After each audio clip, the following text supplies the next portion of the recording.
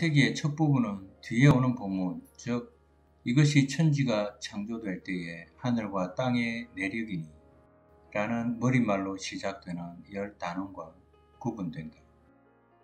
이것이 시사하는 바는 이 첫 단원이 나머지 부분에 대한 하나의 서문이라는 것이다. 이 서문은 하나님이 누구신지 그리고 그가 어떻게 세상과 관계를 맺으시는지를 설명한다. 그래서 이 프롤로그는 성경 전체 혹은 최소한 창세기를 해석하는 데 핵심적인 열쇠가 된다. 그렇지만 이 프롤로그는 하나의 신학적인 진술 그 이상의 것이다. 이것은 창조자, 즉 그로 말미암아 또 그를 위하여 만물이 존재하는 창조주에 대한 찬송이기도 하다. 이 프롤로그 자체는 치밀하게 구성되어 있다. 하나님의 열 가지 명령으로 여덟 가지의 창조 역사가 엿새 동안에 걸쳐 이루어진다. 이때 첫째 날부터 셋째 날까지의 첫 3일과 넷째 날부터 여섯째 날까지의 3일이 상응하고 있다. 첫째 날 하나님은 빛을 창조하셨고, 넷째 날 빛들을 창조하셨다. 둘째 날에는 하늘과 바다를 지으셨고, 다섯째 날에는 하늘과 바다의 생물들을 만드셨다. 셋째 날에는 땅과 식물을 창조하셨고 여섯째 날에는 땅에 사는 생물들을 창조하셔서 그들에게 식물을 먹을 것으로 주셨다. 마지막으로 일곱째 날 하나님은 쉬셨다. 창조사역은 여섯째 날 인간이 남자와 여자로 창조되면서 그 정점에 이른다. 이것이 하나님의 창조 역사의 절정으로 제시되고 있다는 것은 인간 창조와 그들의 책임에 대한 기사가 다른 피조물에 대한 것보다 길다는 사실을 통해서도 알 수 있다. 실제로 다섯 가지의 창조 역사는 인간을 위한 안식처를 만드는데 그 의의가 있는 것으로 보인다. 빛, 땅, 바다와 같이 인간의 삶에 직접적인 관련이 적은 창조보다는 인간의 삶에 좀 더 직접적인 영향을 주는 창조에 대해서 더욱 자세히 묘사하고 있다. 하나님이 인간을 특별히 배려하신다는 것은 그가 사람에게 식물을 음식으로 주셨다는 점에서도 분명해진다. 하나님이 여섯 동안 창조하시고 일곱째 날 안식하셨다는 사실 역시 의도적으로 강조되고 있는 것 같다. 하나님의 일하시는 방식은 인간의 행동 양식의 표본이 된다. 성경은 인간이 하나님의 형상으로 창조되었으므로 하나님을 닮아야 한다고 계속해서 권고하고 있다. 그래서 하나님이 여섯 동안 일하시고 일곱째 날 쉬신 것처럼 사람들도 여섯 동안 일하고 일곱째 날 안식해야 한다. 지상에서의 인간의 삶에 대한 하나님의 관심은 이 성경 기사 자체 안에 분명히 드러나는데 이는 특히 고대 근동의 다른 창조 기사들과 비교해 볼 때 더욱 두드러진다. 창세기는 다른 신들 그리고 그 신들과 세상의 관계에 대한 다른 견해들을 은근히 반박한다. 여기에는 신들끼리 싸움이 있었다든지 또는 결혼하고 자녀를 낳았다든지 하는 그런 이야기들이 없다. 시간과 성별을 초월하시며 태초에 이미 존재하셨던 유일하신 하나님만 있을 뿐이다. 그분은 만물을 창조하셨다. 심지어 그 당시 사람들이 신적 존재로 믿었던 태양과 달, 별들까지도 그분이 다 창조하셨다. 하나님은 창조의 일을 하시기 위해 어떤 마술적인 묘기를 필요로 하지 않으셨다. 그분의 말씀 자체만으로 충분했던 것이다. 창세기의 기사에 따르면 지음하신 창조자, 그로 말미암아 온 우주가 창조되었고, 그래서 모든 만물이 그에게 복종해야 하는 그 유일하신 하나님만 존재할 뿐이다. 하나님의 형상으로 창조된 남자와 여자는 창조된 우주 안에서 영광의 자리에 앉는다. 인간은 하나님의 본성을 반영하고 또 이 땅에서 그를 대신하는 대리자인 것이다. 창세기 1장 1절부터 2절까지 창조의 시작. 이 부분에 대해서 NIV는 전통적인 해석을 따른다. 즉, 이 부분은 하나님이 모든 물질을 무에서 창조하신 최초의 창조 사역을 묘사한다는 것이다. 첫 창조 직후 땅은 혼돈하고 공허하였다. 즉 아무것도 나지 않았고 또 아무도 살지 않았다.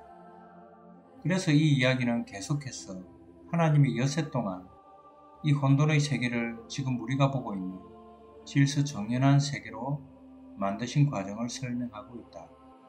현대의 몇몇 번역본과 주석을 보면 1절에 대한 다른 해석들을 찾을 수 있다. 어떤 번역본은 이 절이 단지 하나님이 천지를 창조하기 시작하실 때의 상황을 묘사하는 것이라고 본다.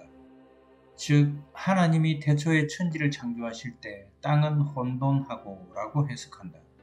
다른 번역본은 1절이 단지 1장을 요약한 제목이라고 본다. 둘 다 NIV의 번역과 입장이 다르다. 그러나 창조는 오직 하나님만이 하실 수 있는 특별한 행위다. 이 창조라는 동사는 구약에서 오직 하나님에 대해서만 쓰였다. 하나님은 전혀 예기치 못한 새로운 것들을 창조하심으로써 그의 권능을 나타내셨다. 예를 들어 그분은 바다의 큰 생물들, 남자와 여자, 산들을 창조하셨다. 이절은 세상이 캄캄하고 황량하여 물에 잠겨 있으며 동시에 하나님의 신비로운 신이 그 물 위를 운행했다고 한다. 하나님의 신격 중에 있는 한 권능에 대한 이 언급은 나중에 잠언 8장 22절로 31절의 지혜와 요한복음 1장 1절로 3절의 말씀으로 더욱 발전된다. 창세기 1장 3절로 23절 창조의 계속 1장 3절부터 5절 빛의 창조 하나님이 빛이 있으라 라고 말씀하시자 캄캄한 세상이 밝아졌다. 더 정확히 말하자면 빛의 창조로 말미암아 낮이 밤으로부터 구분되었다. 빛은 일종의 에너지로서 꼭 태양이나 별들이 아니더라도 여러 가지 경로로 발생된다. 현대의 우주학자들은 우주가 뜨거운 빅뱅으로 시작되었고 여기에서 밝은 빛이 발생되었을 것이라고 주장한다. 흑암과 혼돈을 대신하여 세상의 질서가 잡히기 시작하였다. 하나님이 보시기에 좋았더라 라는 반복구는 창조세계와 창조주의 본질적인 선을 확정한다.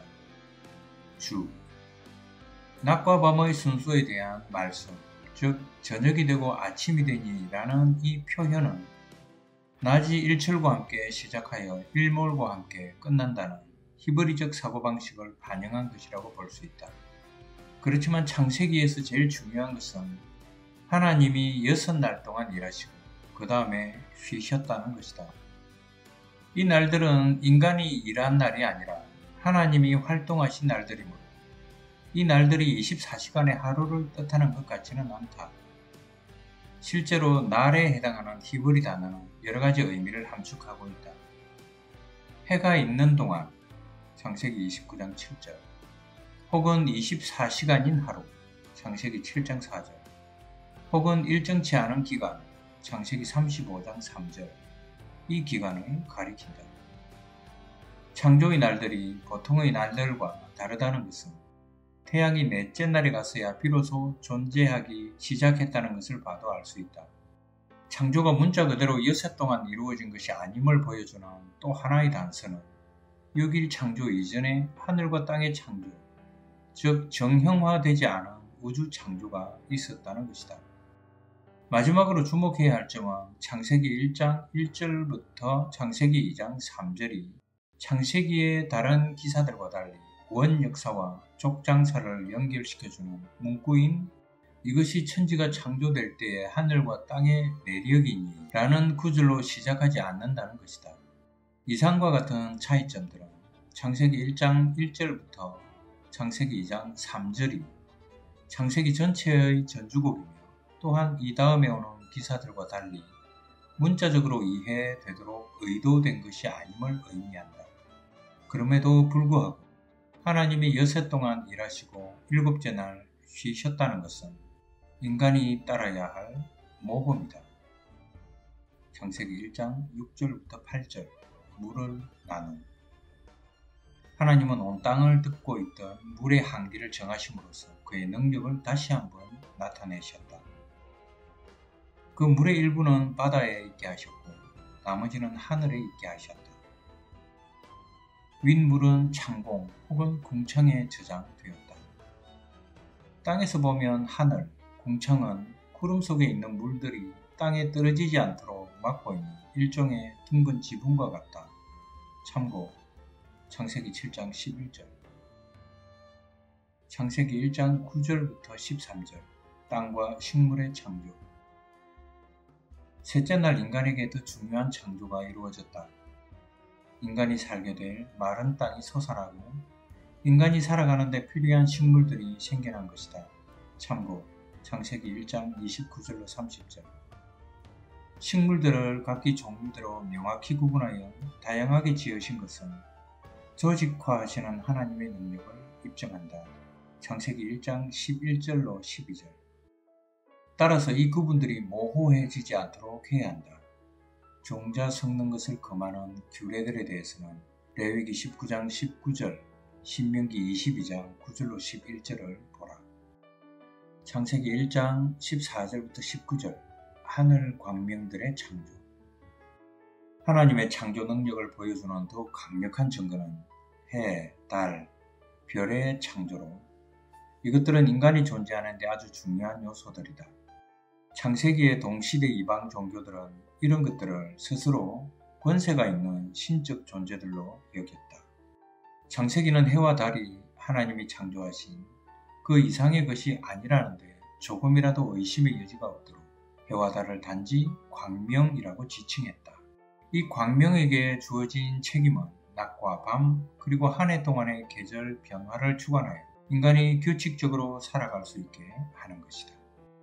창세기 1장 20절부터 23절 새들과 물고기들의 창조 첫 3일 동안에 이루어진 하나님의 창조 사역과 다음 3일 동안의 사역이 상응한다는 것은 이제 더 분명해졌다. 첫째 날 빛이 창조되었고 넷째 날 하늘의 광명이 창조되었다. 둘째 날 하늘과 바다가 창조되었고 다섯째 날 새들과 물고기가 창조되었다. 여기에서 창세기는 다시 한번 질서에 대한 하나님의 관심을 강조하고 있다. 큰 바다 생물들은 고대 신화에서 종종 신적인 존재들로 여겨졌다. 그러나 창세기는 이것들이 단지 하나님이 지으신 피조물이었다고 한다. 하나님은 물과 공중에 그가 지으신 피조물들이 가득 차기를 원하셨고 그래서 생육하고 번성할 것을 명령하시고 복을 주셨다. 이를 확실하게 하기 위해 그 어떤 주술이나 다산 의식들도 필요하지 않았다. 창세기 1장 24절부터 31절 동물과 인간 창조 창조 기사는 여섯째 날에 이르러 그 정점에 달한다. 이전의 어떤 날보다 이 날에 이루어진 하나님의 사역에 대해 보다 상세하게 기록하고 있음을 주목하라. 또한 이 기사는 셋째 날 땅의 언어들과 병행을 이룬다. 여기에서 창세기는 하나님의 계획 안에 있는 인간의 목적과 위치를 규정하고 있다. 하나님은 우리의 형상을 따라 우리의 모양대로 사람을 만들자라고 하신다. 이 말씀은 무엇보다 인간, 즉 남자와 여자가 땅 위에서 하나님을 대신하는 대리인이라는 뜻이다. 고대 근동에서 왕들은 신의 형상을 가진 존재로 여겨졌다. 그러나 창세기는 모든 인간이 다 하나님의 형상으로 지어졌다고 선언한다. 신약 성경은 그리스도는 보이지 아니하시는 하나님의 형상이시며 골로새서 1장 15절 하나님의 영광의 광채시요 그 본체의 형상이시라고 선언한다. 이브리서 1장 3절 하나님의 형상에 대한 이 같은 이해는 창세기를 쓴 인간 저자의 수준을 넘어서지만 그는 우리의 모양대로 우리가 사람을 만들자는 말씀을 통해 하나님의 형상에 대한 다른 측면이 있음을 시사한다. 여기에서 하나님은 천사들에게 말씀하고 있는 것으로 그려지는데 이것은 이 장에서 다른 초자연적인 존재들을 가리키는 유일한 언급이다. 이 말씀은 사람이 하나님과 천사를 모두 닮은 존재임을 암시한다. 전통적으로 그리스도인들은 우리가, 우리의 라는 지칭들이 삼일체의 다른 위격들을 가리키는 것으로 이해해 왔다. 이것은 상당히 합리적이고 그럴듯한 해석이지만 이 단어들이 원래 의미하는 바와는 다르다. 둘째, 인간은 하나님의 형상으로 창조되어 땅 위에서 하나님을 대신하는 존재이기 때문에 인간은 당연히 온 땅을 다스리는 존재다. 창세기 1장 26절. 이 사상에 대해 시편 8편 4절로 8절은 아주 경이로운 시적 논평을 달고 있다. 다스린다는 것은 통치를 의미하지만 억압을 뜻하는 것은 아니다. 하나님의 대리인으로서 인간은 하나님이 그러신 것처럼 그 다스리는 대상들의 유익을 위해 다스린다. 하나님은 인간으로 하여금 세상의 자원들을 유용할 수 있게 허락하셨지만 인간이 하나님의 창조 세계를 남용할 수 있는 권리를 주시지는 않았다. 셋째 하나님은 의도적으로 인간을 두 성으로 창조하셔서 생육하고 번성하게 하셨다. 여기에서 그분은 이승간의 결합에 축복을 주시고 이것이 당신의 계획 가운데 중요한 요소임을 지적하셨다. 고대 메소포타미아 도시의 전설들은 신들이 인구 증가를 염려하여 전염병, 기근, 홍수 또는 유산을 일으켜 인간의 번식을 억제한다고 한다. 그러나 창세기의 하나님은 첫 인류에게 생육할 것을 계속해서 권고하셨고 창세기 1장 28절, 창세기 8장 17절, 창세기 9장 1절, 7절 또 족장들에게는 그들이 수많은 자녀를 보게 될 것을 약속하셨다. 그러므로 이 순간의 결합은 하나님의 선하신 창조의 중요한 요소로 강조되고 있다. 창세기 1장 31절 넷째 하나님이 인간에게 씨 맺는 채소와 열매 맺는 나무를 식물로 주셨다. 창세기 1장 29절 홍수 이후에 비로소 육식이 분명하게 허락되었다. 창세기 9장 1절로 3절 그러나 창세기는 인간이 원래 초식성이었는지 아니었는지에 대해 말하려는 것이 아니라 하나님이 그들에게 음식을 제공하셨다는 사실에 관심을 기울이고 있다. 메소포타미아 신화에서는 신들이 자신들에게 음식을 제공하도록 인간을 만들었다. 그러나 창세기는 반대로 하나님이 사람들을 먹이신다고 한다. 참고 창세기 50장 7절로 15절 창세기 2장 1절로 3절 안식일 표현 양식과 문체의 갑작스러운 평화는 안식일이 다른 날과 구분됨을 확실히 부각시킨다. 여기에서 일곱째 날이 안식일이라고 분명히 지명되지는 않았지만 암시적으로 표현되어 있다. 왜냐하면 그가 안식하셨다라는 말씀은 곧 그가 안식일로 지키셨다라는 말씀으로 바꿔 표현할 수 있기 때문이다. 또한 하나님이 이 날을 복주시고 거룩하게 하셨다는 점에서 일곱째 날의 중요성은 더욱 두드러진다. 안식일은 항상 거룩한 날로 일컬어졌는데 다른 절기를 거룩하다고 표현한 경우는 오직 느헤미야 8장 9절과 11절에서만 볼 수 있다. 하나님이 일곱째 날 쉬셨다고 했는데 여기에서 저자는 사람이 하나님의 형상으로 지어졌으므로 당연히 그 창조주의 행동 양식을 따라야 함을 강조한다. 실제로 본문의 문맥은 마치 성관계나 음식이 사람의 생존에 필수적인 것처럼 일주일에 하루를 쉬는 것이 반드시 필요하다는 것을 말하고 있다. 이 개념은 오늘날 그리스도인들조차도 자주 잊고 있다. 주, 창세기 1장과 과학 창세기와 현대과학은 서로 다른 질문들에 답하고 있다. 창세기는 하나님이 누구신지 그리고 그분이 이 세상과 어떻게 관계를 맺으시는지를 설명한다. 그러나 과학은 하나님이 주신 법칙들, 즉 자연 현상을 설명해 주는 법칙들을 명료하게 밝히는데 그 의의가 있다. 과학자들은 이 법칙들로 시작해서 우주의 발전 과정을 거꾸로 추적해 나간다. 과학은 우리들로 하여금 창조주의 무한한 능력과 지혜를 의식하게 해주지만 하나님의 창조 목적이나 그의 속성을 설명해 주지는 못한다. 창세기는 21세기의 과학적 문제들을 다루고 있는 것이 아니라 3000년 전의 고대 근동의 사상들을 다루고 있다. 그 지혜와 능력이 천차만별인 많은 신과 여신이 존재한다는 다신론적 세계관에 반대하여 창세기는 절대 권능과 거룩을 지니신 오직 한 하나님만 계신다고 선포한다. 인간은 단지 신들이 차후 미봉책으로 만들어낸 존재라는 고대 사상을 거부하고 창세기는 오히려 인간이 창조의 목적이며 그의 복지가 하나님의 최고 관심사라고 선포한다. 이 원리들은 성경 전체에 걸쳐 그득 강조되어 있는데 특히 창세기 1장에서 모범적인 선례로 제시되어 이것이 바로 저자가 말하고자 하는 핵심이다. 현대의 독자들은 창세기의 원래 의도에 주목해야지. 이 목적과 상관없는 과학적인 논쟁으로 본문을 풀이하려고 해서는 안 된다. 창세기 2장 4절부터 창세기 4장 26절까지 하늘과 땅의 기사 여기서 저자는 인간 사회가 창세기 1장 31절에 묘사된 바와 같은 완전한 상태에서 점점 퇴보해가는 과정을 세 단계로 보여주고 있다.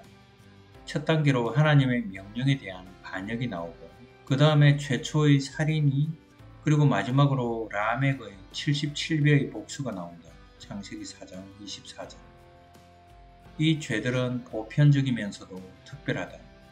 모든 죄가 다 유사한 구성요소와 결과들을 가지고 있다는 점에서 이 죄들은 보편적이지만 다른 한편 이 죄들은 역사의 시작 단계에 일어나 전 인류에게 비참한 결과를 가져왔다는 점에서 특별하다.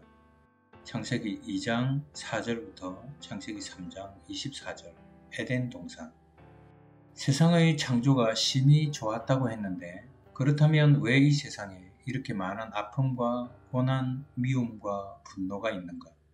이 기사는 죄의 기원에 대해 간단하면서도 심오한 설명을 제공한다. 이 기사는 최초의 인간 부부에 대한 전원적인 묘사로 시작하는데 그러므로서 이성관계에 대해 하나님이 정하신 원형이 무엇인지를 보여준다. 그 다음에 저자는 하나의 사소한 불순종이 모든 것을 엉망으로 만들어버리고 결국에는 인류를 동산에서 쫓겨나게 만들었다고 설명한다. 주 하나님이라는 명칭은 2장과 3장에 자주 쓰였지만 구약 성경 다른 부분에서는 드물게 나타난다. 이 명칭은 여기 두 장에서 중요하게 드러난 두 가지 개념을 함축하고 있다. 즉 하나님이 인간의 창조주인 동시에 인간의 친구 혹은 언약 상대자라는 것이다. 주 혹은 여호와라는 명칭은 오직 이스라엘에게만 계시된 하나님의 이름이다. 출애굽기 3장 14절, 출애굽기 6장 3절, 창세기 2장 4절부터 7절까지 첫사랑 창조. 저자는 여기에서 여섯째 날 인간이 창조되기 전으로 돌아가 전형적인 중동의 사막, 즉 식물이 자라게 하려면 땅을 개간하고 물을 끌어대는 사람의 노력이 필요한 광무지를 묘사하고 있다. 위대한 토기장인 하나님이 바로 그런 땅의 진흙으로 사람을 빚어 만드시고 그에게 생기를 불어넣으셨다.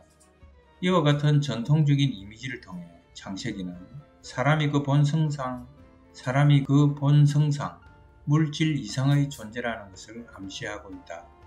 인간은 하나님의 숨결이 깃든 그래서 영적인 요소를 갖춘 존재다. 창세기 2장 8절부터 17절 하나님이 사람을 위해 만드신 동상 인간의 필요에 대한 하나님의 배려가 창세기 1장 29절에 이미 언급되었는데 여기에서 다시 한번 강조되고 있다.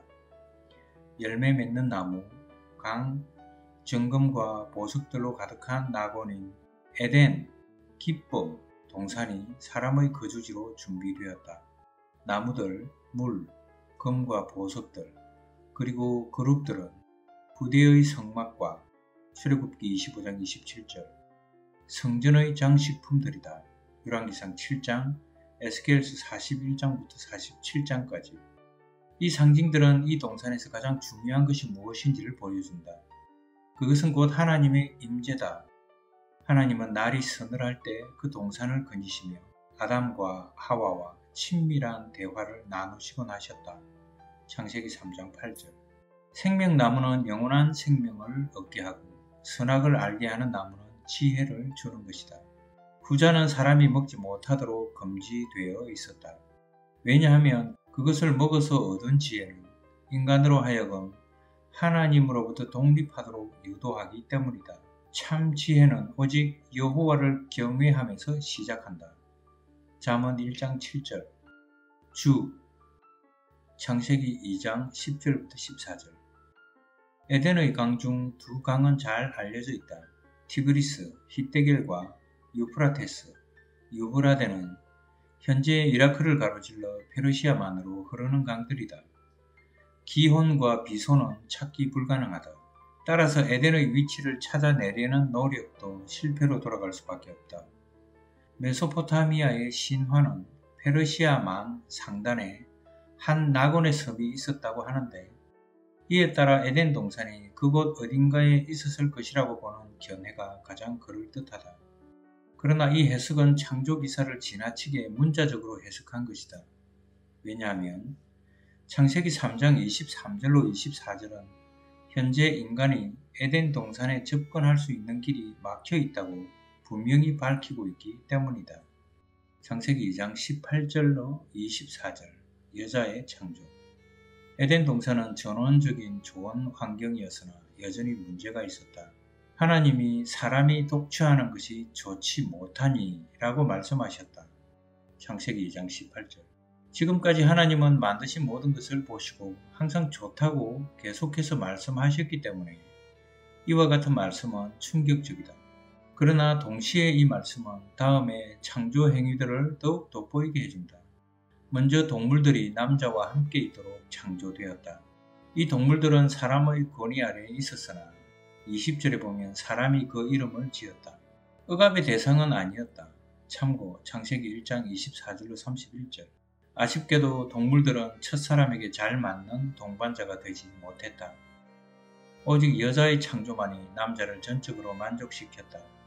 하나님이 아담의 갈빗대로 하와를 창조하시고 그 다음에 마치 결혼식에서처럼 그 여자를 아담에게 데려오셨는데 이 아름다운 이야기는 결혼에 대한 성경적인 관점을 잘 요약해 준다.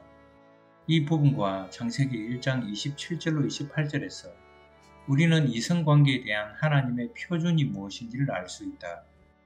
창세기 1장 28절은 번식의 중요성을 강조한 반면 창세기 2장 20절로 24절은 결혼한 부부의 동반관계를 설명해 주고 있다.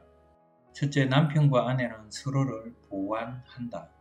돕는 배필이라는 표현보다는 꼭 맞는 배필이라는 번역이 더 적절하다. 즉, 그의 부족함을 채우는 자라는 의미다. 여자는 남자의 잃어버린 갈빗대다. 매튜 헨리는 하나님이 갈빗대를 빼서 하와를 창조하신 것에 대해 이렇게 주석했다. 남자 위에 군림하도록 머리에서 취하지 않으시고 남자에게 짓밟힘을 당하도록 발에서 취하지 않으셨으며 남자와 동등하게 그 옆구리에서 남자의 보호를 받도록 그 팔 아래에서 남자의 사랑을 받도록 그 심장 가까운 곳에서 취하셨다. 이 주석은 갈빗대에 너무 많은 의미를 부여한 감은 있지만 적어도 성경의 이상적 결혼관을 잘 표현하고 있다. 둘째, 남녀 연합은 영원하다. 남자가 아내와 연합하여 문자적으로는 달라붙다라는 의미이다. 둘이 한 몸을 이룰지라 예수님과 바울은 이혼을 금하면서 이 구절을 인용한다. 마태복음 19장 5절, 에베소서 5장 31절. 셋째 남편은 다른 어떤 사람들, 심지어는 부모들보다 아내의 관심사를 우선 생각해야 한다. 남자가 부모를 떠난다는 말씀은 단지 다른 지역에 가서 살라는 뜻이 아니라 부모를 공경하는 그 중요한 의무가 아내를 돌봐야 하는 의무 다음이라는 것을 뜻한다. 에베소서 5장 25절로 29절. 넷째, 아내는 남편의 권위 아래 있다. 아담이 그 전에 동물들의 이름을 지어준 것처럼 그는 그녀의 이름을 여자라 하고 나중에 하와라고 이름을 지었다. 남자의 머리 됨에 대한 개념은 성경의 다른 부분에서 당연한 것으로 인정되었다. 예를 들어 고린도전서 11장 3절, 베드로전서 3장 1절로 6절. 마지막으로 하나님이 아담을 위해 오직 한 여자 하와를 만들어 주셨을 뿐 다른 하와들을 여러 명 창조하시거나 혹은 다른 아담을 창조하지 않으셨다는 것을 주목해야 한다. 이것은 하나님이 일부 다처제와 동성애를 모두 인정하지 않으셨음을 의미한다. 참고 레위기 18장 18절, 신명기 17장 17절, 레위기 18장 22절, 로마서 1장 26절로 27절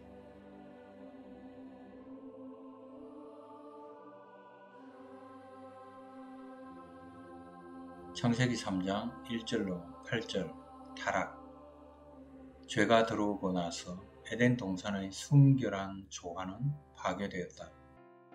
아담과 하와의 실수는 모든 죄에서 흔히 볼 수 있는 그런 것이지만 그들이 모든 인류의 조상이기 때문에 그들의 행위가 가장 엄청난 결과들을 가져왔다. 유혹을 일으킨 것은 뱀이었으며 뱀은 나중에 부정한 짐승으로 구별되어 악의 상징으로 여겨졌다.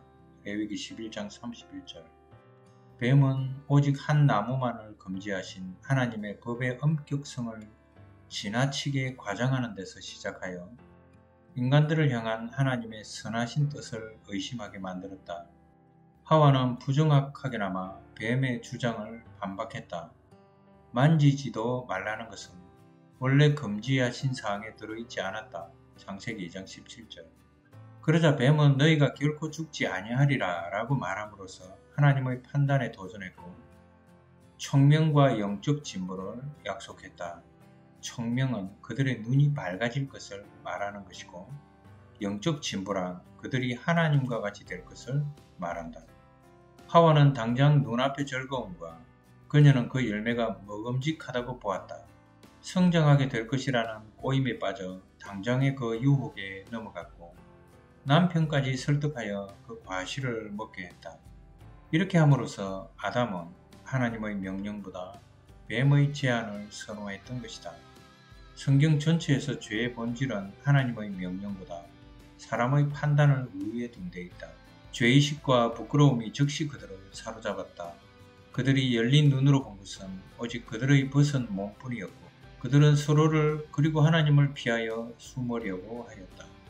창세기 3장 9절로 20절 심판과 승리 남자와 여자와 뱀은 거룩한 신문과 함께 신문을 받고 선고를 받았다.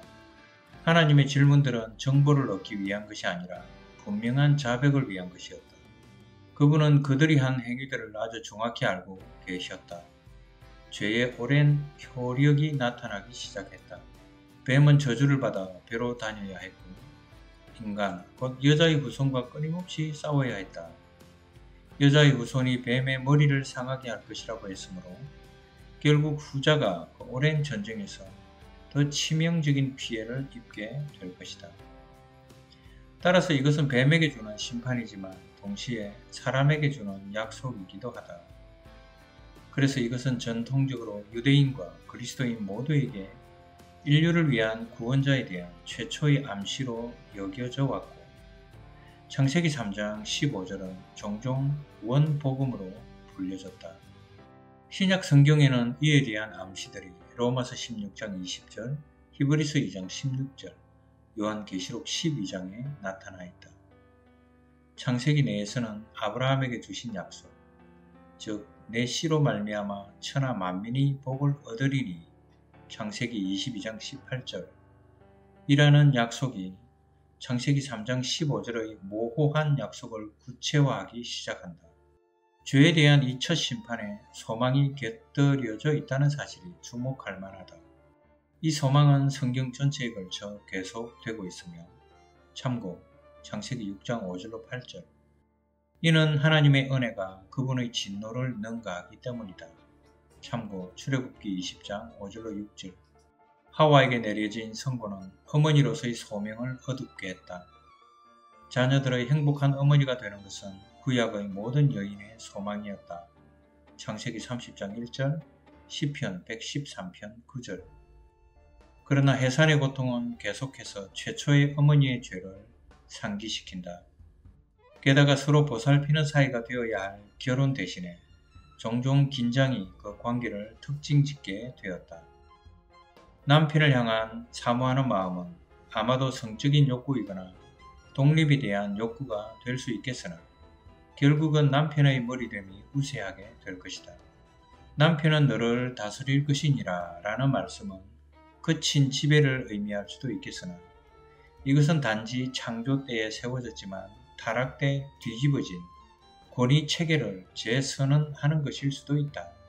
아담에게 내려진 선고가 내가 내 아내의 말을 듣고 라는 말씀으로 시작된 것을 고려해 볼때 후자의 견해가 더 설득력 있다. 그 다음에 하나님은 남자가 일을 하면서 절망을 겪게 될 것이라고 선언하셨다. 정은사와 농부들은 양식을 생산하기 위해 끊임없이 잡초와 싸워야 한다. 그는 힘들게 일해서 살아갈 수 있다. 그러나 결국 죽게 될 것이다. 이것은 그가 에덴 동산에서 쫓겨나 생명나무에 접근할 수 없게 될 것을 암시한다. 창세기 3장 21절로 24절 심판 동산으로부터의 추방은 그들이 죽지 않게 되리라던 뱀의 약속이 허무맹랑한 것임을 입증하셨다. 왜냐하면 비록 아담과 하와의 동산 밖에서의 삶이 어느 정도 계속되었다 하더라도 그것은 하나님과 깊은 교제를 즐기면서 살았던 동산 안에서의 풍성한 삶의 한낱 그림자에 지나지 않기 때문이다. 이제 죄에 대한 모든 대가가 드러났다. 그것은 단지 양심의 가책이나 가장 사랑하는 배우자와의 갈등, 고통 혹은 날마다 수고하며 노동하는 것 뿐만 아니라 하나님의 임재에서 멀어져 결국에는 육체적인 죽음을 맞게 되는 것이다. 로마서 6장 23절 그룹들은 나중에 법궤, 성막, 성전을 장식했고 출애굽기 25장 18절로 22절, 출애굽기 26장 31절, 열왕기상 6장 23절로 28절, 날개 달린 사자의 모습에 사람 얼굴을 하고 있었다. 에스겔 41장 18절.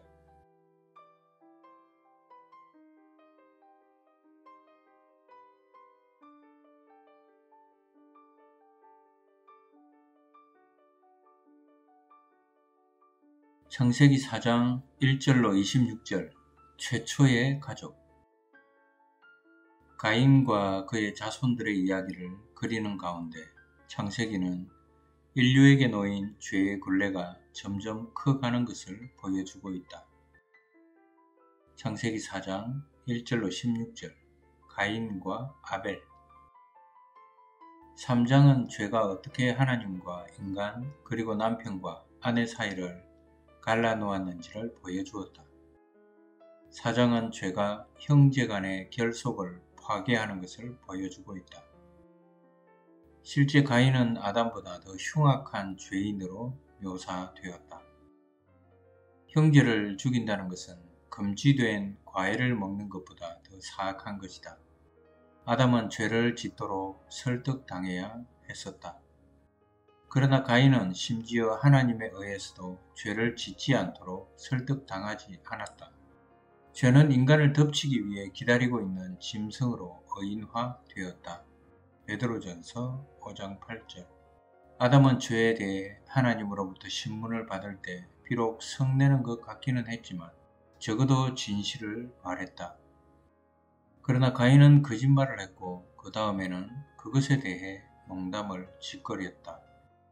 창세기 3장 9절로 11절 참고 창세기 4장 9절 아담은 하나님의 심판을 묵묵히 받아들였으나 가인은 격렬하게 항의했고 그리하여 동산에서 더 멀리 추방되었다.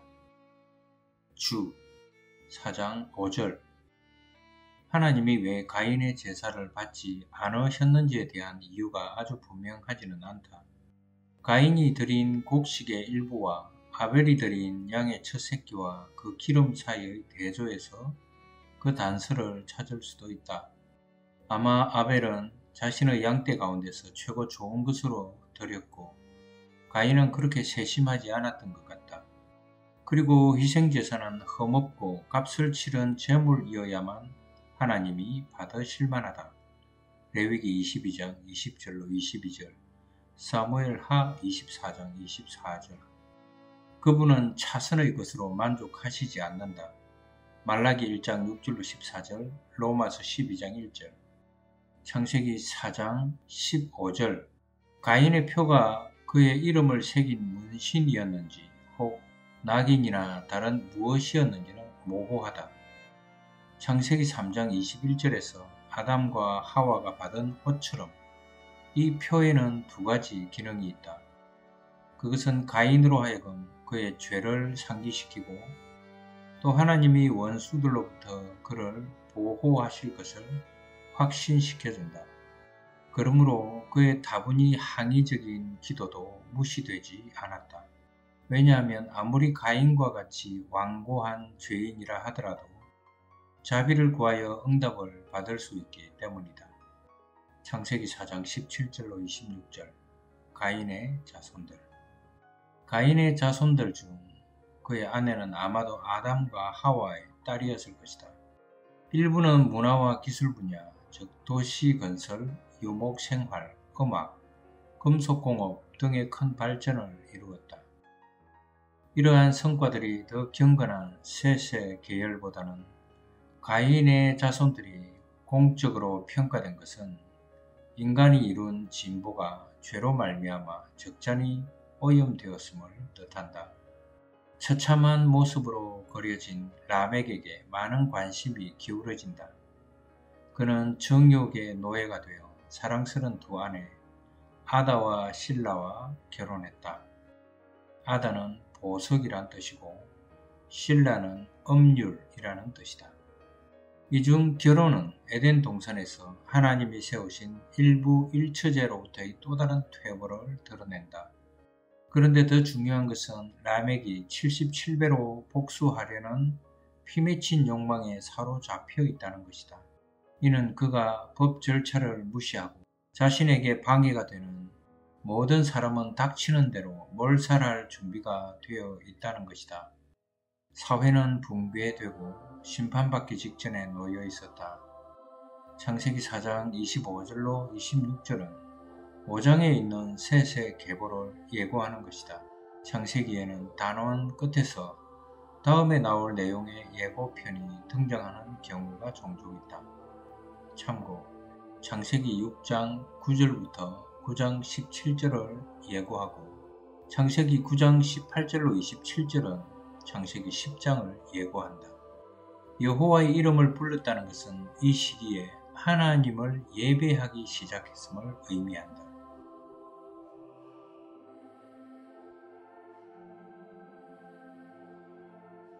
창세기 5장 1절로 6장 8절 아담의 가계에 관한 기사 이 부분은 두 단원으로 구성되어 있다.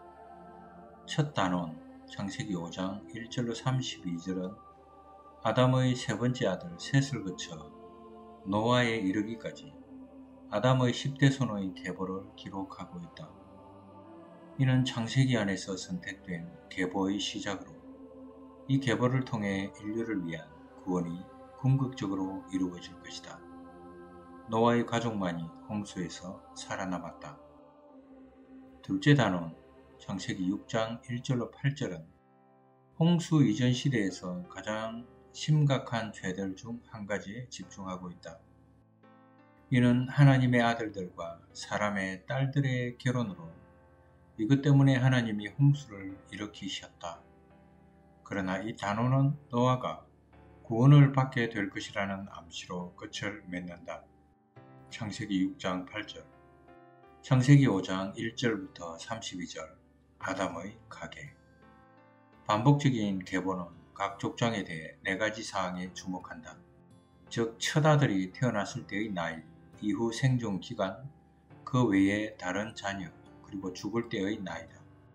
다른 자녀들에 대한 언급은 족장들이 생육하고 번성하라는 명령을 잘 지켰다는 것을 암시하고 어떻게 사람들이 땅 위에 점차적으로 번성하였는지를 보여준다.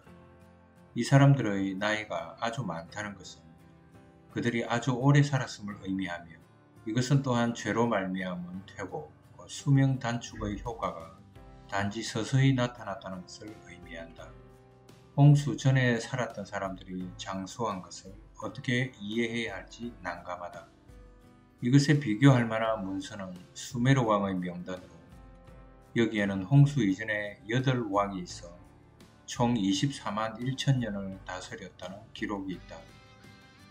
여기에 비하면 5장에 있는 1500년은 차라리 나은 편이지만 그래도 아담이 어떻게 930년을 살 수 있었는지에 대해 아무런 설명이 없다. 여러 가지 의견이 나왔다. 첫째, 그들의 1년은 우리의 1년보다 짧은 기간이라고 한다. 하지만 홍수의 날짜 계산을 보면 창세기 7장 11절부터 창세기 8장 14절까지 창세기는 1년에 약 360일이 있는 것으로 계산한다.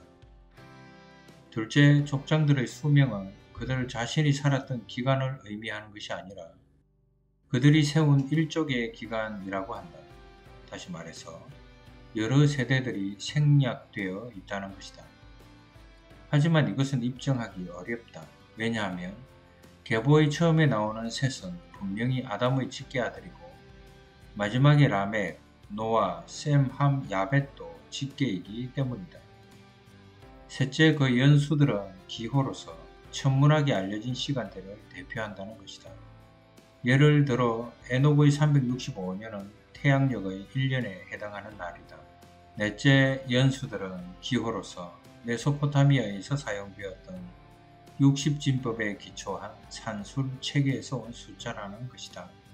바벨론의 산술표는 60의 인수와 그것들의 제곱수와 배수들로 구성되어 있다. 60의 인수는 30, 20, 15 등이다. 그래서 이 체계 속에서 훈련받은 사람들에게는 오장과 수메르 왕들의 목록에 나오는 많은 숫자가 익숙하게 보였을 것이다. 예를 들어 930, 아담의 나이는 30 제곱 더하기 30이다. 그러나 모든 숫자들이 이런 식으로 설명될 수는 없고 또 그 숫자들이 상징적이라면 왜 어떤 숫자들만 특정한 사람들에게 적용되었는지 설명할 길이 없다. 현재로서는 그 숫자들의 크기는 이 사람들이 오래 살았음을 시사한다고 하는 것이 최선이다.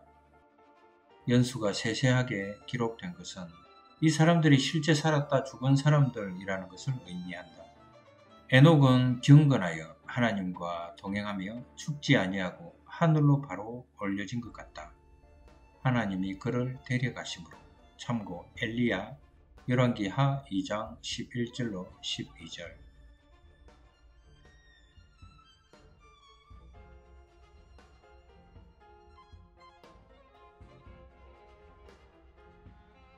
창세기 6장 1절로 8절 사람과 영들의 결혼 그리고 그 후손들 고대 세계에서는 신과 인간이 성적 관계를 맺는 이야기들이 종종 전해져 내려온다. 그리고 그 결합에 의해 태어난 반신적인 자손들은 특이한 기운과 특별한 힘을 갖게 되었다고 한다. 메소포타미아와 가나안에서는 신과 인간의 결혼을 기념하기 위해 신전에서 성스러운 결혼식을 거행했다. 이 예식들은 땅의 비옥함과 일상적인 결혼에서의 번성을 확고하게 하기 위한 것이었다. 이 의식들에는 아버지들이 결혼하지 않은 딸들을 신전 봉사를 위해 봉헌하는 것도 포함되어 있었다. 실제로 이 소녀들은 제사장들과 부유한 숭배자들을 즐겁게 하기 위해 신전 창기로 봉사했다. 창세기 6장 1절로 2절 그리고 창세기 6장 4절은 이러한 관습들을 묘사한다. 하나님의 아들들이란 영적인 존재들을 가리킨다. 여기에서는 욥기 1장 6절 그리고 욥기 2장 1절에서 이 존재들은 선하지 않음에도 불구하고 천사들이라 번역되어 있다. 때때로 구약 성경에서는 이스라엘 혹은 왕들이 하나님의 아들들이라 일컬어졌으나 두 가지 다 여기에는 해당되지 않는다. 사람의 딸들은 보통 인간 여자들을 가리킨다.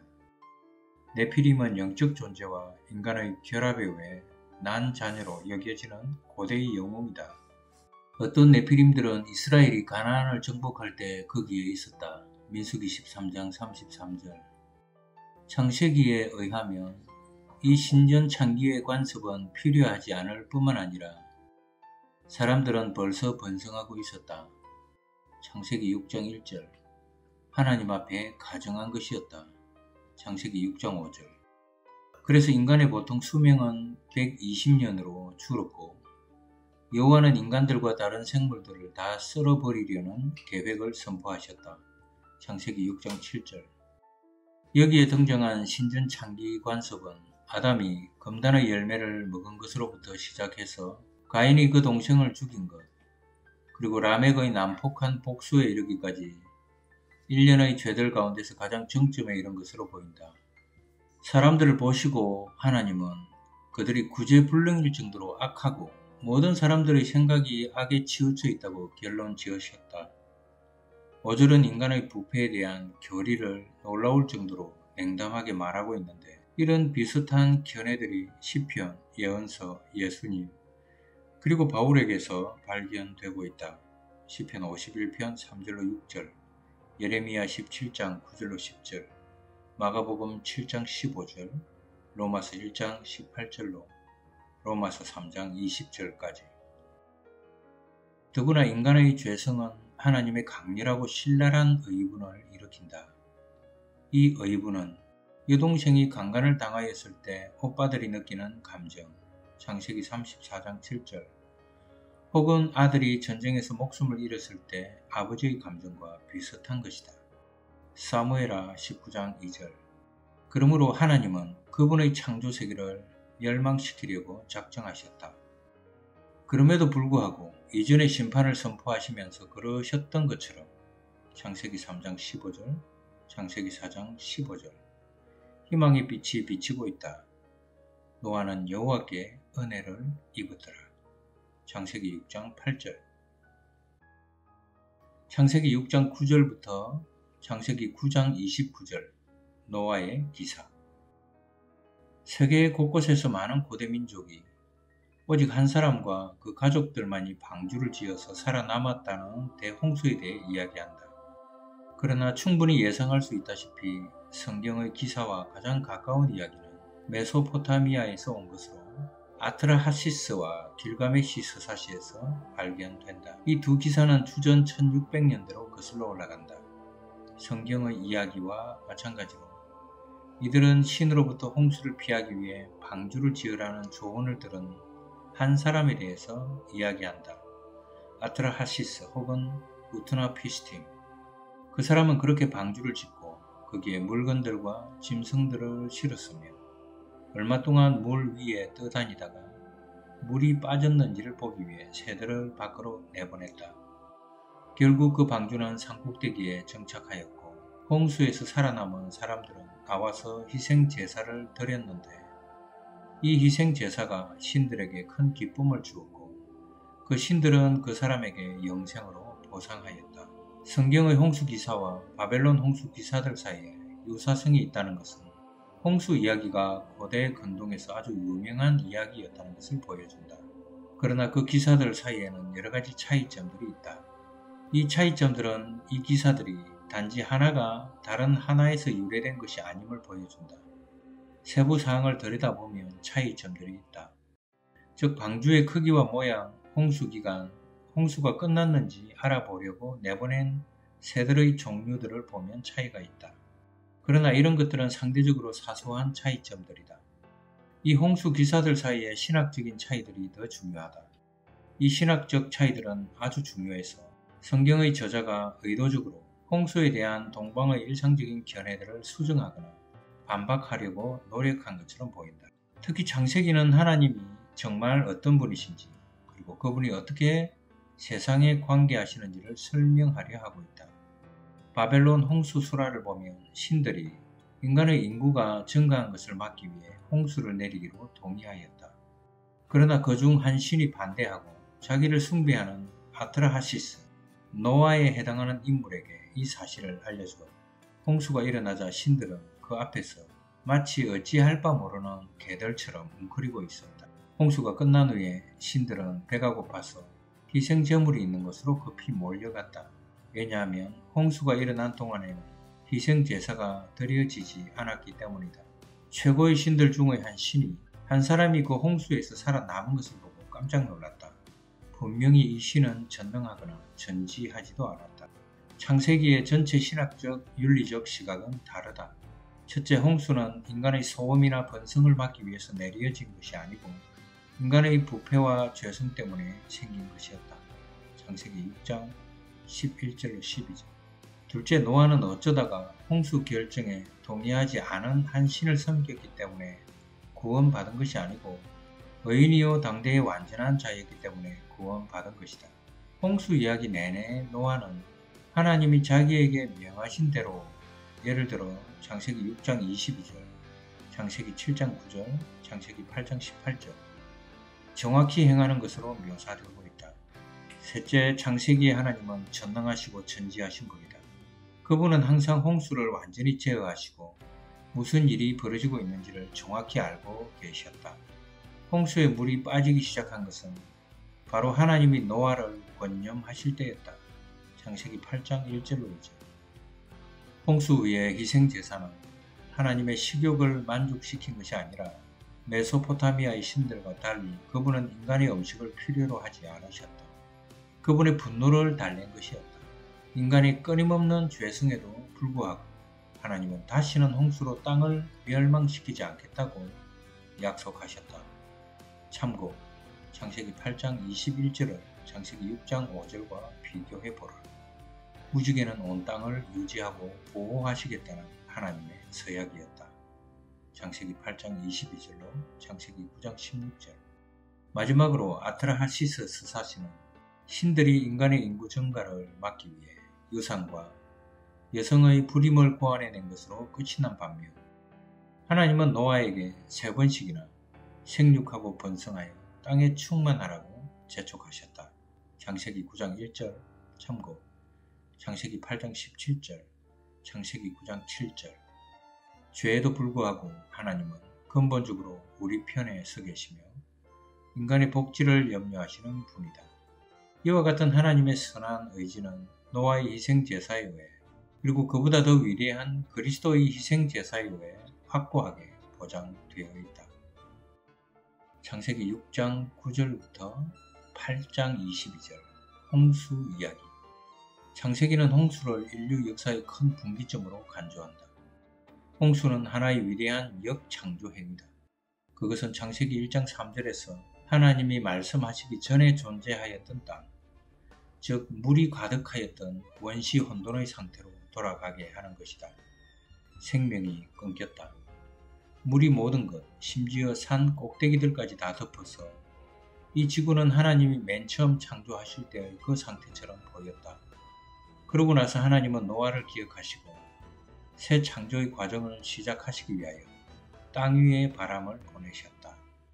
세상은 새롭게 다시 태어났다. 마른 땅과 물이 분리되고 새 인류의 조상이 된 노아는 방주에서 나와서 마치 아담과 같이 생육하고 번성하라는 말씀을 들었다. 장세기 9장 1절 그러므로 노아는 제2의 아담인 것 같아 보인다. 홍수 이야기의 문학적 구조는 창세기 안에서 역창조의 위대한 행위로서의 홍수와 홍수 이후의 재창조 사이의 평행을 강조하고 있다. 이 기사는 이야기의 대칭 구조를 돋보이게 하는 긴 거울 이미지 형태 확장 교차 대구법 혹은 상관 대구법으로 기록되어 있다. 이 구조의 가장 분명한 특징을 보여주는 몇 가지 경우는 다음과 같다. A.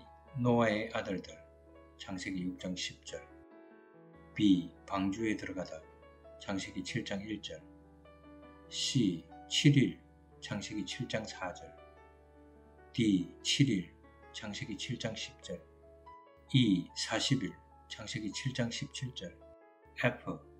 산들이 덮이다 창세기 7장 20절 G.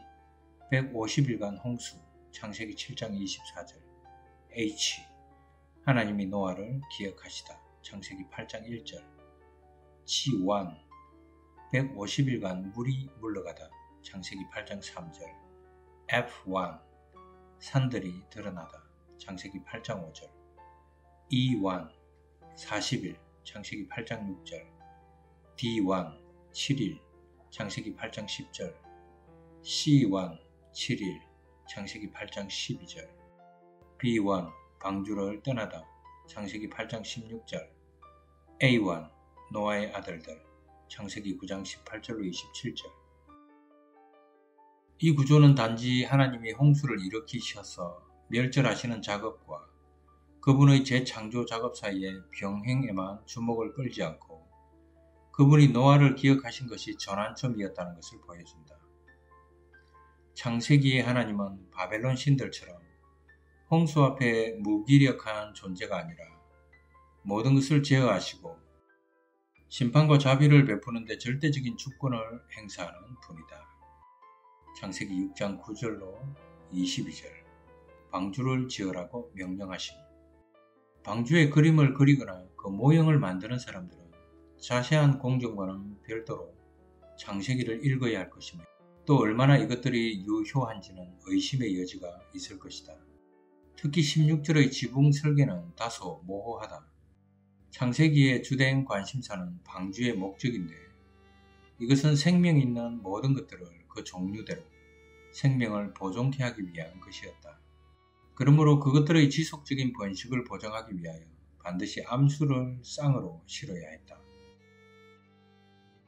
창세기 7장 1절로 5절 방주에 탈 것을 명령하시고 부정한 짐승들은 그 종족 보존을 위해 한 쌍이면 충분했지만 정한 짐승들은 일곱 마리를 실어야 했다. 혹은 일곱 쌍을 이야기한다. 그래야 홍수가 끝난 후에 희생 제사를 드려도 그 종류들이 끊어지지 않을 것이기 때문이다. 창세기 7장 6절로 24절 방주 성성과 홍수의 시작 홍수의 단계마다 정확한 날짜가 기록되었다. 예를 들어 창세기 7장 11절, 창세기 8장 13절, 14절 홍수가 옛 세상을 종식시키고 거기에서 새 세상이 나오게 된다는 점에서 이것은 적절하다. 홍수의 날짜와 범위에 대한 주해 수메르 왕들의 목록에 의하면 홍수가 초기 왕조 직전에 일어났다고 하는데 이는 홍수가 주전 3000년대에 일어났음을 시사한다. 확실히 고고학자들이 메소포타미아에서 이 기간에 국지적인 홍수들이 있었다는 증거들을 많이 찾아내긴 했지만 이 지역 전체가 잠겼다는 것을 보여주는 증거는 하나도 없다. 또 하나의 가능성이 있다면 이 홍수가 마지막 빙하기 말에 있었다는 것이다. 주전 1만 년경. 보통 건조한 지역에 많은 비가 내리고 거기에 얼음이 녹아 바다 수면이 100m 정도 올라가면 바다 수면이 100m 정도 올라가면서 이전에 사람들이 살던 땅들을 침수시켰다. 현대의 지형학적 지식으로 이 이야기를 대하며 이것이 지구의 완전 침수를 묘사하고 있다고 자동적으로 이해하겠으나 만약 이 이야기를 지형학적인 이해의 지평이 제한되어 있는 노아의 관점에서 들으면 적은 범위의 홍수라 하더라도 우주적인 것으로 보였을 것이다. 창세기 8장 1절로 22절 홍수가 그치다. 새 창조는 하나님이 노아를 기억하심으로 시작되었고 점차 땅, 식물, 새, 짐승, 사람들이 땅에 다시 나타났다. 아라랏은 현대의 아라랏산이 아니고 고대 우라르투 지역에 해당하는 곳으로 오늘날 아르메니아와 터키와 이란 인근 지역이다. 창세기 8장 21절은 창세기 6장 5절과 유사한 언어로 기록되어 있다. 이것은 희생제사로 바뀐 하나님의 태도가 아니라 인간 전체에 대한 그분의 태도를 말한다. 제2의 아담, 즉 의로운 노아의 희생제사는 홍수와 같은 재난의 심판으로부터 인류의 미래를 보호하였다. 창세기 9장 1절로 17절 하나님과 노아의 언약 홍수 이후의 새로운 세상은 원래 창조와 다소 비슷하였지만 거기에는 다른 점들도 있다. 아담과 같이 노아는 복을 받아 생육하라는 말씀을 드렸는데 고기를 먹는 것은 처음 허락되었다. 비록 아벨과 야발이 목축을 하는 자들이었으나 아담에게는 푸른 채소들만 식물로 배당되었다. 그러나 이제 노아에게는 고기를 먹는 것이 허락되었다. 이때 고기는 먼저 피를 뺀 것이어야 했는데 이는 하나님이 주신 생명에 대한 존중의 표시였다. 피를 먹지 말라고 금지한 것은 구약 성경의 가장 중요한 음식법 가운데 하나였다. 참고 레위기 3장 17절, 신명기 12장 16절로 25절, 사무엘상 14장 32절로 34절. 홍수 이전 역사의 특징은 폭력이었다. 창세기 6장 11절. 아벨의 죽음에 대해서는 보복이 없었지만 라멕은 지나치게 반응했다. 창세기 4장 23절로 24절 이제 엄격한 보응의 법이 소개되었다. 무릇 사람의 피를 흘리면 사람이 그 피를 흘릴 것이니 창세기 9장 6절 벌은 그 죄에 상응해야 한다는 관념은 구약 율법의 기본이고 이는 현대의 정의와 공평에 대한 개념에서도 마찬가지다. 출애굽기 21장 23절로 25절 비록 살인에 대하여 사형의 벌을 주는 것이 내게 되기를 원하는 대로 너도 하라는 법칙의 분명한 신뢰지만 6절은 왜 그것이 적절한지에 대한 특별한 이유를 제시하고 있다. 모든 인간은 하나님의 형상으로 지어졌으므로 즉 땅에서 하나님을 대리하는 자이므로 인간 생명의 유일무이한 특성을 보호하기 위해서는 최고형으로 다스려야 했다. 세상이 사람과 짐승의 생명으로 가득 채워져야 한다는 것이 바로 하나님의 뜻이었다. 왜냐하면 무지개로 상징되는 그 언약은 생명 있는 모든 것들과 함께 맺어진 것이기 때문이다. 창세기는 무지개가 홍수 이후에 처음 나타났다고 말하지 않는다. 단지 그때 이것이 표징, 즉 하나님의 선한 의지의 서약이 되었다는 것이다. 창세기 9장 18절로 29절 함의 범죄 아쉽게도 의롭고 흠이 없는 노아가 술에 취하여 벌거벗은 채 잠이 들었다. 그의 죄는 상대적으로 작았으나 곧바로 그의 작은 아들 함에 훨씬 심각한 죄가 뒤따랐다.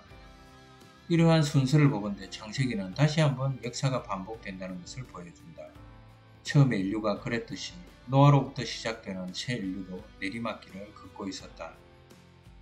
현대 독자들은 함이 저지른 죄의 심각성을 보지 못하고 형제들에게 부모의 실수에 대해 수군대거나 농담한 것이 무슨 큰 잘못이냐고 물을 것이다. 그래서 함이 근친상간을 했거나 다른 성적 불륜을 저지른 것이 아닐까 하는 의견들이 나왔다. 그러나 이런 생각들은 잘못된 것이며 이는 구약이나 다른 고대 문화권에서 자녀들의 의무를 얼마나 중요하게 여기는지를 잘 보지 못한 것이다. 내 부모를 공경하라는 계명은 출애굽기 20장에서 하나님에 대한 계명들 바로 다음에 나오며 부모를 때리거나 저주한 죄는 사형의 벌을 받았다.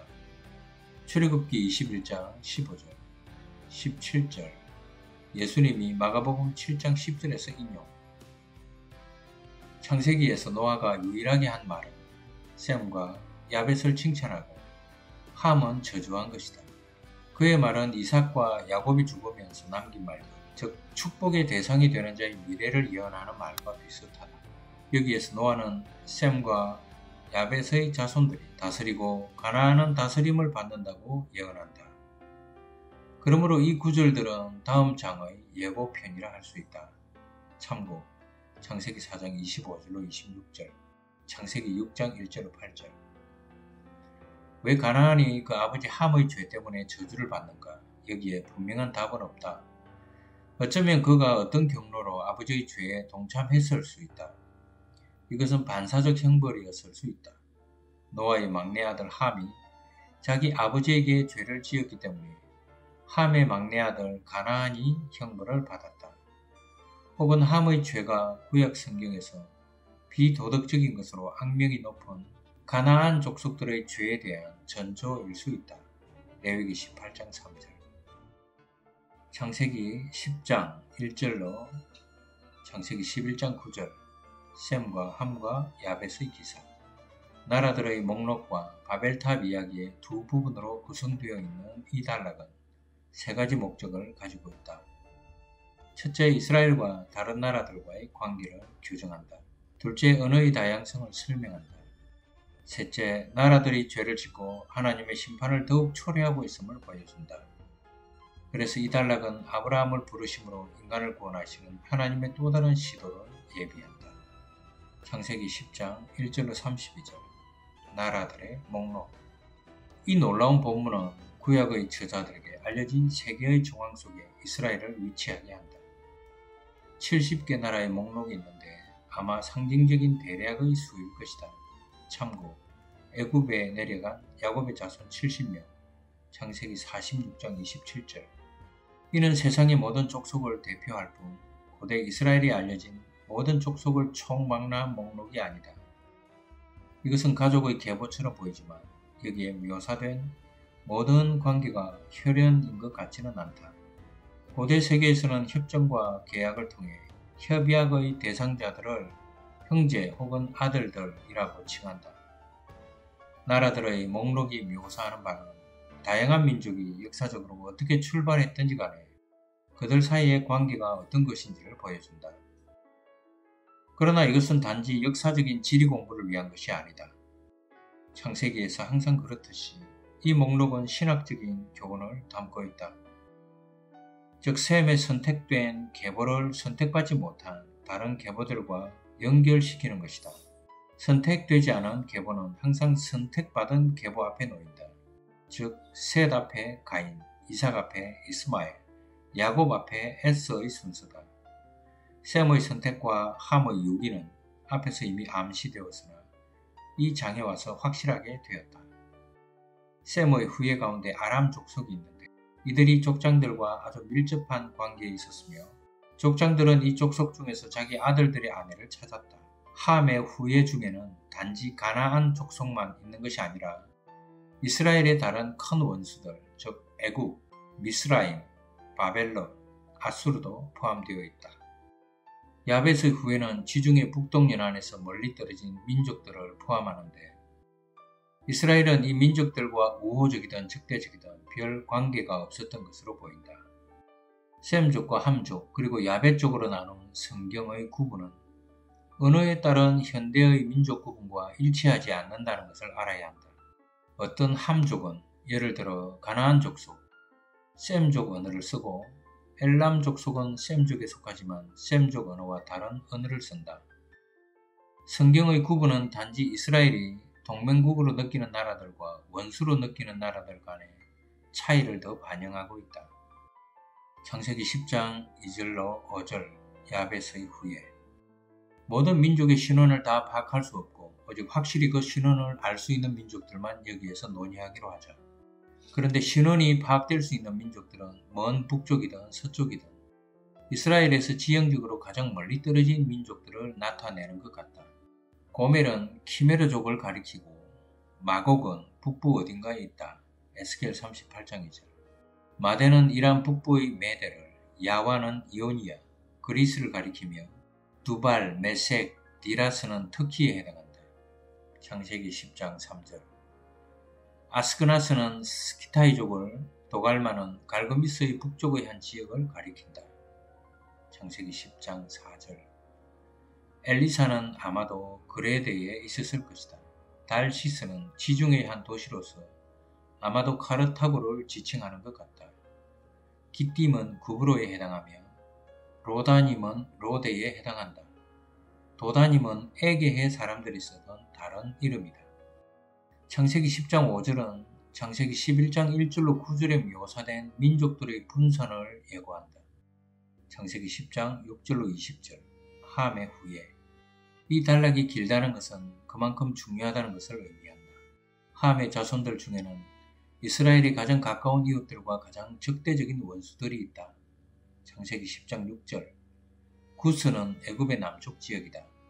미스라임은 애굽에, 붓은 리비아에 해당한다. 가나안에 대해서는 창세기 10장 15절로 19절에 더 자세한 신원이 기록되어 있다. 창세기 10장 7절 구스의 아들들은 남쪽 아라비아에 있는 한 지역을 가리키는 것처럼 보인다. 창세기 10장 8절로 12절 메소포타미아 문명은 구스를 거쳐 함에게까지 거슬러 올라가는데 이는 이 계보를 지켜 세우기 위한 것이 아니라 창세기 11장 1절로 9절에 있는 바벨론의 교만에 대한 분명한 비판을 예고하는 것이다. 니무롯에 대해서는 정확한 신원을 알 수는 없으나 그가 싸움과 전쟁에 관심을 가지고 있는 것은 대메소포타미아 왕들의 전형이다. 그가 세운 도시들은 그 지역에서는 거의 다 잘 알려진 도시들이다. 창세기 10장 13절로 14절 여기에 나온 족속들이나 민족들에 대해서는 거의 알려지지 않았다. 바드루심은 남부 애국을 가리킨다. 블레셋은 가나안의 주도권을 두고 이스라엘과 치열하게 싸우는 족속이다. 사무엘상 4장부터 31장 갑돌임은 거레대족이다. 창세기 10장 15절로 19절 이스라엘이 쫓아내야 할 가나안 거민들에 대해 특별히 관심이 집중된다. 시도는 페니키아 연안의 가장 오래된 도시다. 헷 족 속은 특히 유명한 히타이트족과는 다른 민족이다. 여부스는 예루살렘의 거민들이다. 아무리 족 속, 기르가스 족 속, 히위 족 속은 자주 언급되는 가나안 족속들이다. 알가 족속과 하맛 족속은 시리아의 유명한 도시들의 거민들이다. 가나안의 지경은 북쪽의 시돈에서부터 남쪽의 가자 그리고 동쪽의 소돔, 사해 옆에 이른다. 가나안 지경에 대한 더 자세한 설명은 민수기 34장 2절로 12절에 있다. 창세기 10장 21절로 31절 셈의 후예 아브라함이 셈의 후손으로 났기 때문에 이스라엘은 이 민족들에 대해 특별한 동질감을 가졌다. 그런데 여기에서 소수 민족들만이 그 정체가 분명히 파악되고 많은 족속은 아람이나 아라비아 족속인 것 같다. 함이 노아의 막내 아들이었던 것은 분명하지만 야벳이 형인지 셈이 형인지는 이 절을 어떻게 번역하느냐에 달려있다. 엘람은 이란 남서부에 있었다. 아슈르는 아수르와 동일한 지명이라고 보기 어려운데 아마도 시나이의 한 족속일 것이다. 민수기 24장 22절 아람 족속은 시리아에 살았고 아마 여기에 기록된 아류 집단들도 그 지역에 살았던 것 같다. 신원이 정확히 파악되지는 않았지만 욕단과 그의 자손들은 남부 아라비아에 살았던 것으로